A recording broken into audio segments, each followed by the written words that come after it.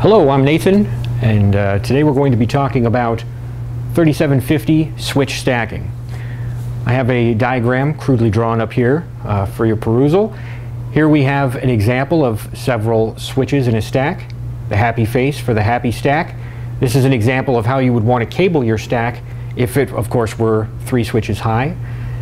These stack cables are layered in a way that will allow not only all the switches to be connected to one another, but then to allow the bottom switch to be connected back to the top switch, which is uh, uh, the recommended way to cable these guys together.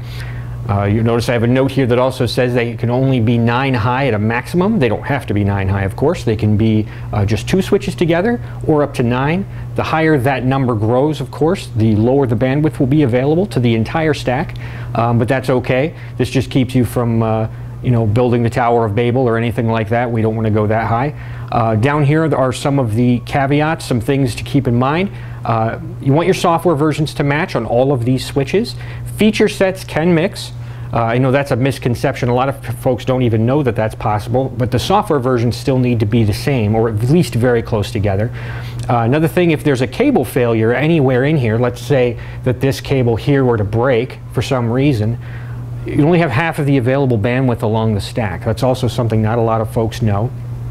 And that StackWise will default to the lowest common denominator. Where that matters is when you have a mix of hardware, uh, which you can do if you have a 3750. If this were a, a standard 3750 with a 3750E and an X down here, you can mix that hardware. But knowing that the newer 3750s have a higher bandwidth stack uh, than the older, you can mix them, but they will default to the lowest common denominator, which would be 32 gigs across the stack. Some frequently asked questions in relation to the stacking model is, can I mix stacks? Well, like we mentioned, yes, you can. Uh, you can actually mix any of the 3750 uh, uh, standard, G, X, or E together from a hardware perspective.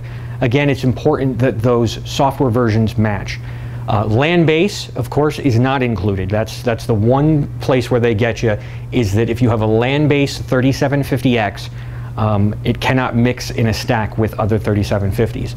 So, okay, my next question, what about LAN base then? What is the deal there? You can stack LAN bases together, but only with each other. Uh, there is no cable included with a LAN base model 3750X. That's just because originally, when they were first released, stacking was not an option.